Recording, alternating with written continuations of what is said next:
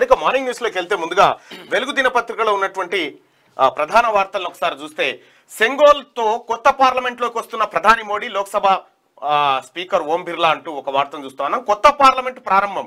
జాతికి అంకితం చేసిన ప్రధాని మోడీ నూట నలభై కోట్ల మంది ప్రజల ఆకాంక్షలకు ఈ పార్లమెంట్ ప్రతిబింబం. పేదలు అట్టడుగు వర్గాల సాధికారతకు దారి చూపుతుంది. ఈ రోజు చిరస్థాయిగా నిలిచిపోతుంది. అధికార మార్పిడికి చిహ్నమైన సెంగోల్కు ఇప్పుడు సరైన గౌరవం దక్కిందని కామెంట్. లోక్సభలో రాజదండం ఏర్పాటు. డెబ్బై ఐదు రూపాయల కాయిన్ స్టాంప్ రిలీజ్ అంటూ ఒక వార్త. కొత్త పార్లమెంట్ భవనం ఆత్మనిర్భర్ భారత్కు నిదర్శనంగా నిలుస్తుంది.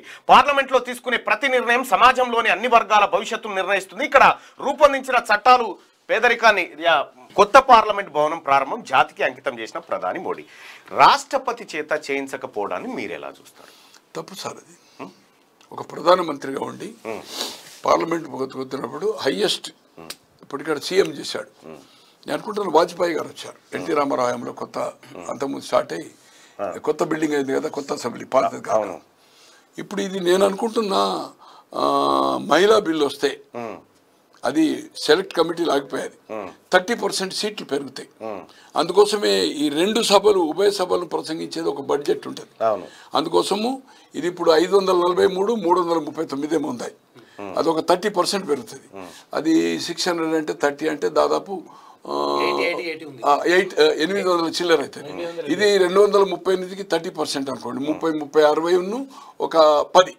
డెబ్బై సీట్లు పెరుగుతాయి అంటే ఇప్పుడు వెయ్యి పైనకి ఏదైతుందో వెయ్యి. పదకొ పన్నెండు వందల మందికి ఏదైతుందో కూర్చుంటానికి ఏదైతుందో చేశారు. దీని రాజ్యసభ సపరేట్ ఉంటుంది. ఎప్పుడన్నా జాయింట్ సెషన్ చేయాలంటే ఈ రోజు నేను అనుకుంటున్నా మళ్ళీ మోడీ గారు కనుక మళ్ళీ ప్రధాని ఏది ఉంటే ఏదో ఒకటి చేసే అవుతుందో మహిళ మహిళలకు ఏదైతుందో చర్చ చట్టం ఉంటుంది మహిళా బిల్లును దృష్టిలో పెట్టుకునే విస్తరణ అంటే పార్లమెంట్ అనుకుంటున్నా నేను అనుకుంటున్నా. ఇది- కొత్త అంశం. ఎందుకంటే ఎవరు కూడా ఈ మహిళా బిల్ అనేది అసలు పెండింగ్ అయింది సార్. దీర్ఘకాలం నుంచి పెండింగ్. నీకు లోక్సభలో వెళ్తుంది రాజ్యసభ పోగానే ఆగుతుంది. సరే అది పరంపర. కానీ ఇది కొత్త అంశం. పార్లమెంటును మళ్ళీ ఆధునీకరించడానికి కొత్తది కట్టడానికి కారణం మహిళా బిల్లు త్వరలో రాబోతా ఉంది అనేటువంటి ఒక ఆయన మైండ్లో ఉండదు ఉన్నట్టుంది. అందుకోసం సీటింగ్ అరేంజ్మెంట్ అంతే. రైట్ అగో అది అభిప్రాయం.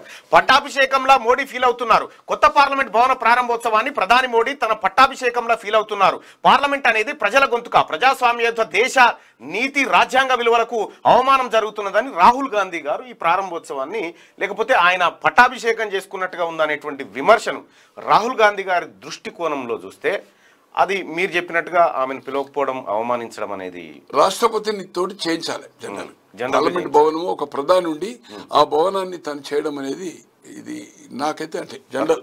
అంటే ఇక్కడ రాజ్యాంగంలో లేదు కొన్ని కన్వెన్షన్స్ కొన్ని సాంప్రదాయాలను పాటించవలసిన అవసరం ఉండే.